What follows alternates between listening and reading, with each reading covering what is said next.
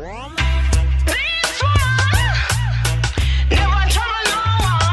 know, sometime in a life, you have to be humble. So,